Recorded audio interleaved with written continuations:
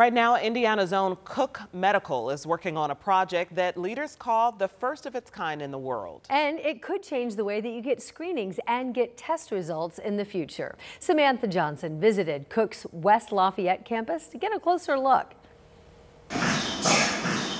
The pulsing sounds of an MRI machine are pretty universal, rhythmic, and unaltered.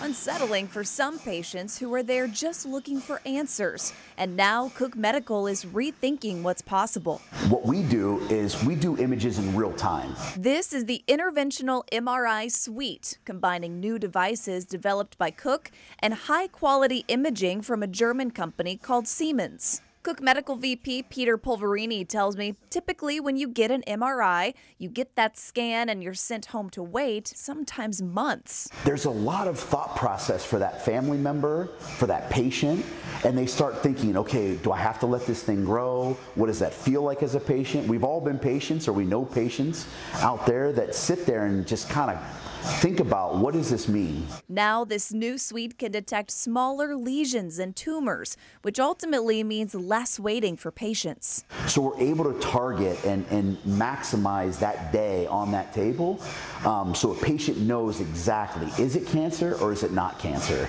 Cook Medical is an Indiana company. It was founded in Bloomington in 1963 and with decades and decades of history, staff here tell me this interventional MRI suite is about the future.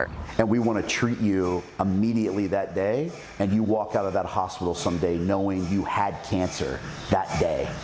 That's the game changer. That's the paradigm shift in medicine. That's what will be the future of interventional MRI. Polverini says this suite is still in development here in West Lafayette, and it will launch to hospitals next year. Samantha Johnson, 13 News.